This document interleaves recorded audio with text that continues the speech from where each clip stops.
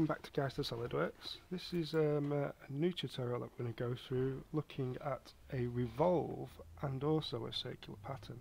So we're going to create this hub here um, and hopefully this will be a good tutorial for anyone that's getting into SolidWorks, wants to learn a few more of the sort of slightly more advanced modelling features um, and how we can also model a bit more uh, sort of economically in terms of our modelling techniques that we use. Um, so let's dive into this drawing then.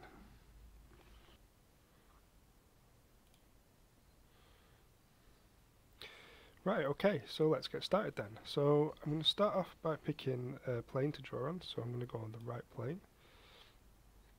And I'm going to sketch on there. Now the first thing I'm going to do is I'm going to set a centre line across my origin here. So I'm going to go across my origin there. Now what I want is the centre of that centre line to be mated to or connected to my origin. So I'm just going to click one, hold control, click the other, and I'm just going to make them coincident. So they're connected there. Now I want that size to be 40. So I'm just going to turn that to 40. Like so. Okay, so now I've got that, I'm going to draw a centre line straight up here.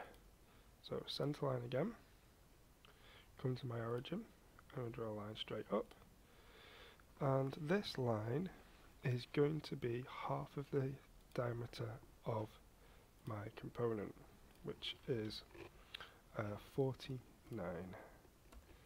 high. Fit to that to the screen so I can see it all. Once I've got them two lines in, I'm going to draw out the rough shape of this um, hub. So across, up, diagonally in, up, out a bit, up a bit, and across the centre there. Okay.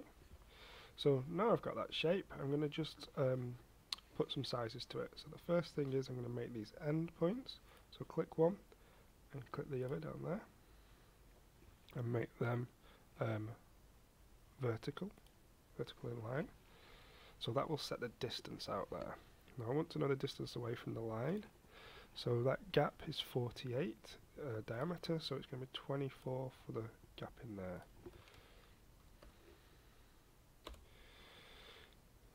Like so. Now I'm going to zoom in here, get the length of that line there, and this is going to be 2 milli. So make that 2.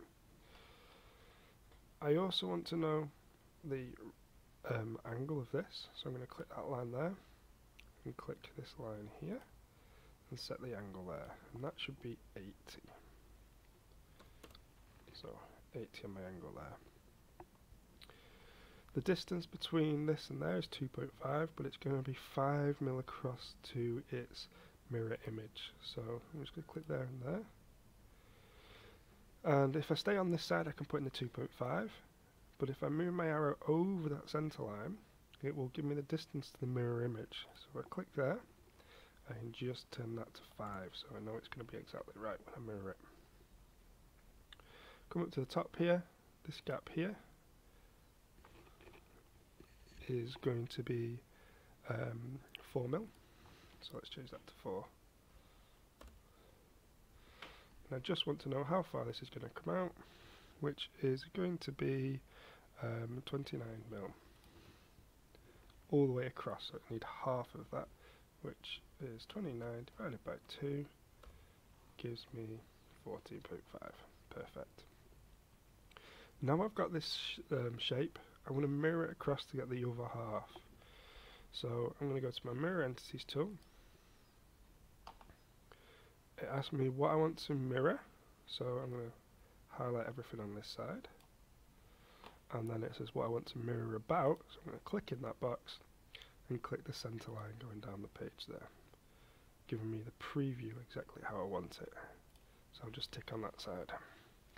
And I'll get that mirror across. Okay, so now I've got the shape, I'm going to revolve that around this centre line. So I'm going to go to features and revolve.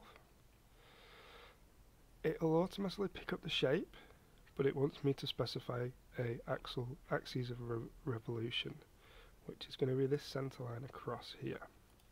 So if I click on that line, and it give me the preview fully revolved. I'm happy with that.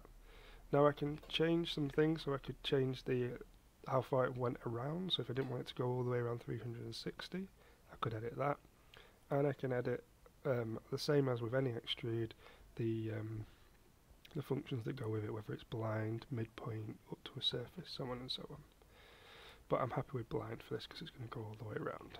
So tick there, and I get my revolved shape, like so. Okay, so the next bit that I'm going to be drawing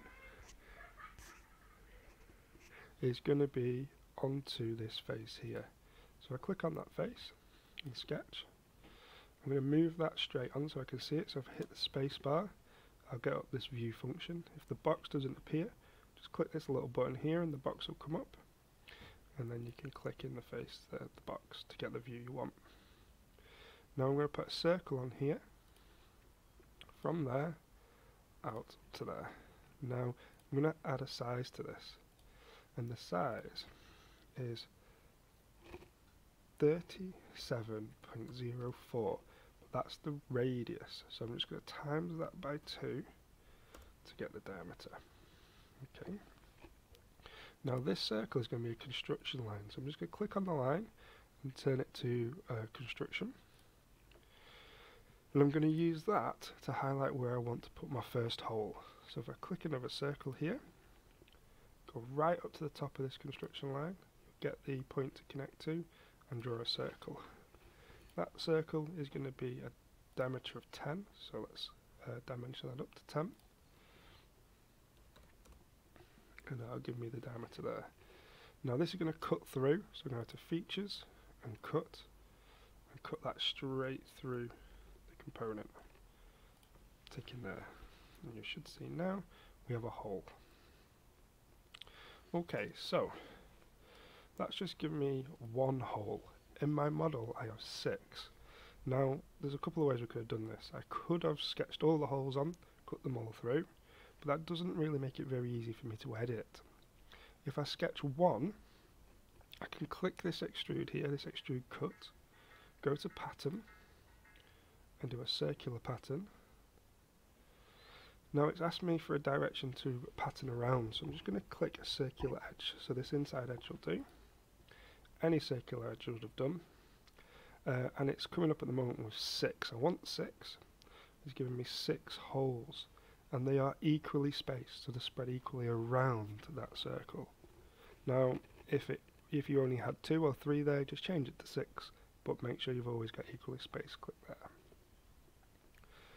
Um, if let's so let's show that. So I'll click that. You'll show the preview. So I've got the six holes now cut through. If I wanted to edit that, so change the holes, this is where the pattern makes it really easy. If I right click on the pattern, go to edit feature, and I've decided now that I want 8 instead of 6, put 8 in there, tick, and I will get the 8 holes instead of the 6. But I still want 6, so I'm just going to right click, edit that feature and turn it back to 6. And I get my six holes as my outcome. I'm just going to flip that to an isometric view so you can see it. And that's my finished product. So hopefully that tutorial was useful for you, taking you through um, a revolved, a revolve of a shape, and also introducing the circular pattern there on that component. Um, hope you enjoyed the tutorial. Hope you learned something new there. Um, please like and subscribe, and if you're if you're uh, a returning um, watcher, please give us some comments. If there's anything you'd like us to do or anything you think you need some help with, please let us know and I'll do my best to try and help you out. Um, again, thanks for watching and I'll see you again soon. Bye for now.